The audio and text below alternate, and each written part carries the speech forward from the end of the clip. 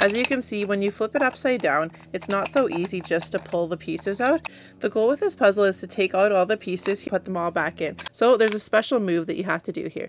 Hold this corner piece in, flip everything else upside down, and you'll notice that this side of the puzzle here comes out. You want to let this one come out. You pull this over to the right hand side and step it out. Now that you have that first piece out, you can flip everything back over. You can remove the next piece here pretty easy, and same thing with this one. You're going to take out this L piece that's underneath here. We're going to just lift it, twist it up, and then we can get this piece out. Piece that comes out next is this piece right here. Now you got to move this all the way to the right hand corner, and now you can lift this piece out. Now we got to slide this piece over underneath here, lift it up and out. And then now we can finally move this piece back and get it out of the puzzle here.